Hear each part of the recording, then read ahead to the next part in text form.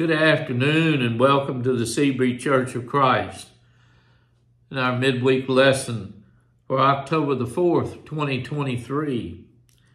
Hope you're having a, a great day, but wanted to take just a few minutes and talk to you about learning to walk by faith. You know, despite our faults and our failures, God loves us. And he is willing to work through every willing heart. Now, when the Bible tells us about a great man or woman of faith, the Lord in his kindness also often shows us the person's weaknesses and their failings.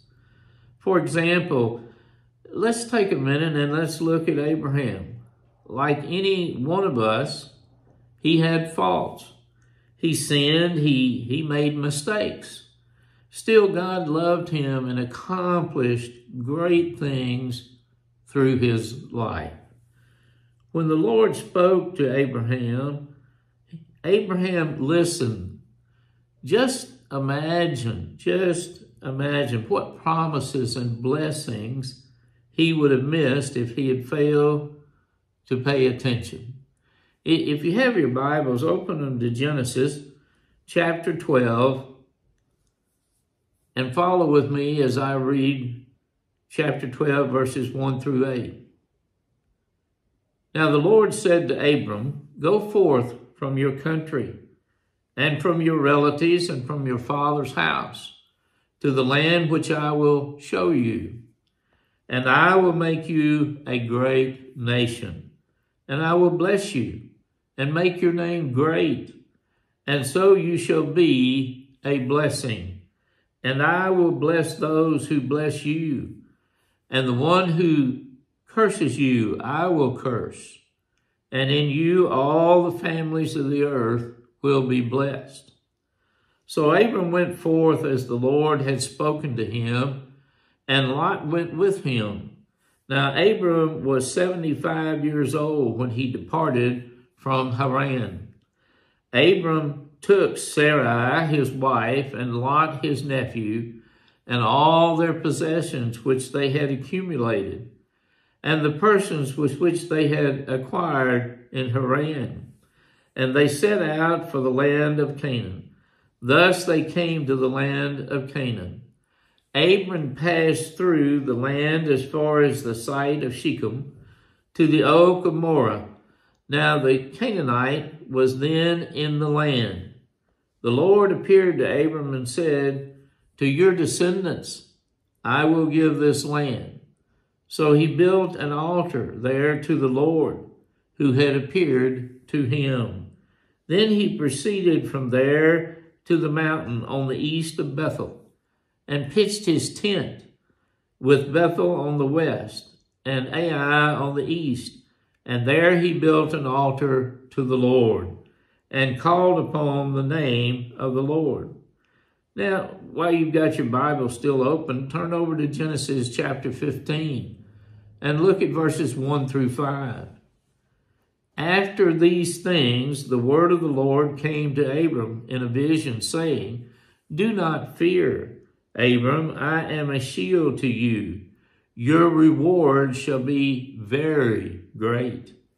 Abram said, O Lord God, what will you give me since I am childless? And the heir of my house is Eliezer of Damascus. And Abram said, Since you have given no offspring to me, one born in my house is my heir. Then behold, the word of the Lord came to him, saying, This man will not be your heir, but one who will come forth from your own body. He shall be your heir. And he took him outside and said, Now look toward the heavens and count the stars, if you are able to count them. And he said to him, So shall your descendants be. Now, with your Bible still open in Genesis, turn to chapter 17 and look at verses 1 through 4. Now, when Abram was 99 years old, the Lord appeared to Abram and said to him, I am God Almighty. Walk before me and be blameless.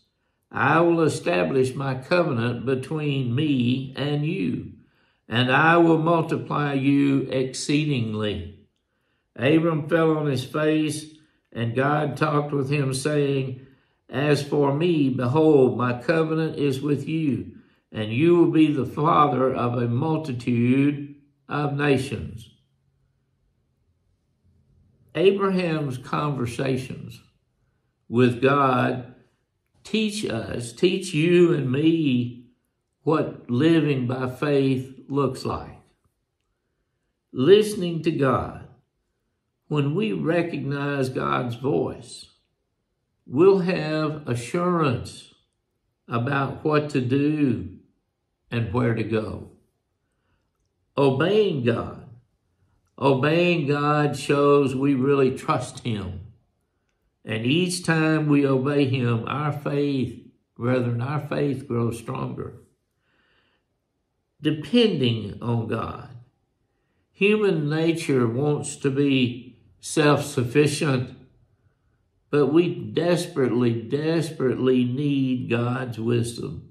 We need his strength. And brethren, we need his help. Waiting on God, our willingness to patiently let God move in his own way, it reaps great blessings and prevents big messes from, messes from happening. Acknowledge and learning from our failures. The Bible tells us that God exalts the humble. In Matthew 23, verse 12, whoever exalts himself shall be humbled, and whoever humbles himself shall be exalted. Which of these do you struggle with? A question for you and me. Which of these do we struggle with? We need to ask God to help us move forward trusting Him. Trusting Him, but not only trusting Him, brethren, but listening, listening carefully for His voice.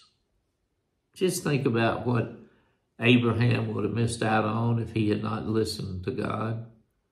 And you and I, many times, we fail to listen to God and we fail to wait patiently for Him to have things happen for us. Just think about this the rest of this week and and when you're kind of depressed and down, we need to think about it because we also need to ask God to help us to have the strength and the ability to live a Christian life. It's not easy, but God loves us and we need to walk by faith. Again, just something to think about for the rest of the week. We greatly appreciate your tuning in. Uh, we know that most of the kids are out of school next week. If you're traveling, we hope and pray that you have a safe journey and that you have a great time. But don't forget to keep your focus on God. Again, thank you so much for tuning in to our messages. It means a great deal to us.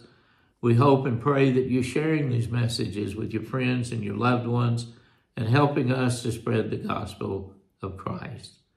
If you can, we would love to have you come visit with us at the Sebree Church of Christ. That would be great. And we would love to meet you and, and get to know you and, and have you worship with us. Our Sunday school begins at 9.30 a.m. every Sunday morning, and our worship service follows at 10.30 a.m.